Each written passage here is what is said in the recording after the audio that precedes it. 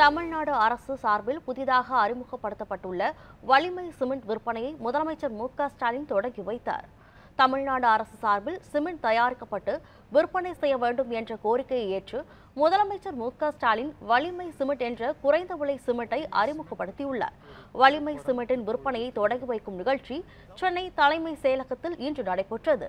இதில் மு க ஸ்டாலின் கலந்து கொண்டு வலிமை சிமெண்ட் மூட்டைகளை வழங்கினார் இந்த நிகழ்ச்சியில் தொழில்துறை அமைச்சர் தங்கம் தினரசு தொழில்துறை செயலாளர் உள்ளிட்டோர் கலந்து கொண்டனர். தமிழ்நாடு சிமெண்ட் கழகம் சார்பாக விற்பனை செய்யப்படும் சிமெண்ட் விலை மூட்டை ஒன்றுக்கு முன்னூற்று அறுபது ரூபாயாக உள்ளது. இது தனியார் சிமெண்டை விட தொண்ணூறு ரூபாய் குறைவானது குறிப்பிடத்தக்கது.